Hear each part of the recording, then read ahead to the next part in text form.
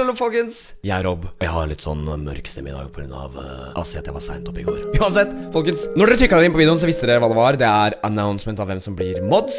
La meg bare si det sånn, det har vært veldig vanskelig å velge. Jeg har gått gjennom alle søknadene. Det var mange. Jeg tror det var 100, nesten. Nærme 100, tror jeg. Eh, jeg gidder ikke å telle.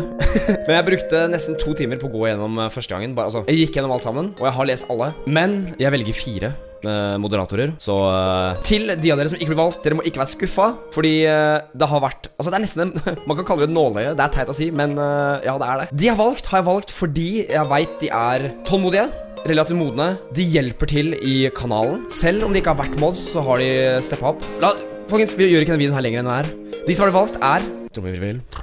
Kan man adde lydeffekten? Jeg trenger jo ikke å lage det selv. Trommevirvel.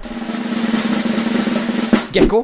Jan Berntsen aka The K, Drago Gaming, Mr. Metamim, og Luna. Det er Tuna. Og helt ærlig, eh, sistnevnte Luna sendte seg en søknad, men helt ærlig, hvis, hvis dere går gjennom Discord-kanalen og ser, så er det ikke nesten ikke én time Luna ikke har skrevet, og hjelper folk og spiller med dem og ja. Vel fortjent alle fire. Gleder meg til eh, flere streams og videoer. Jeg fikser moderator, altså moderator, ranks, alt det der. Jeg fikser det. Uh, det blir på mandag.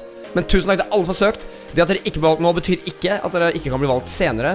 Bare så jeg har sagt. Jeg vil ha en honorable mention, faktisk. Og det er David Kielland. Helt ærlig, han har også steppa opp for alle, og meg. Men uh, David, vi tar heller og lager uh, videoer sammen. Jeg lover det blir snart. Link til kanalen til David er der nede. Og folkens, hvis dere går inn og liker videoen hans, så kanskje abonnerer hvis dere Han er dritlættis.